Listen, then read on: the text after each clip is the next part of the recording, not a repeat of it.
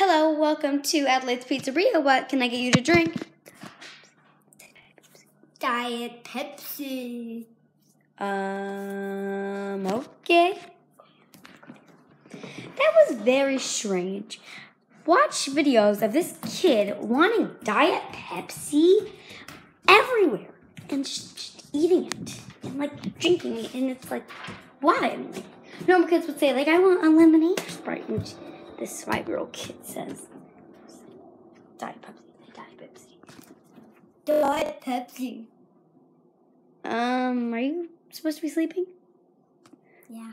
Say Diet Diet Pepsi. Pepsi. Um, Diet Pepsi. okay. Diet Pepsi. Anyways, this five year old kid, like, just keeps on wanting Diet Pepsi. Okay, so, anyways, Pepsi. uh, you want Diet Pepsi? Uh, let's go check in the fridge if we have any. Diet Pepsi. Shh. Oh, looks like we're out, Micah. Stop us. What ah, no, no, I'm sorry. It's not my fault. It's not my fault. Come on. Yeah. Uh, ouch! Ouch! Ouch!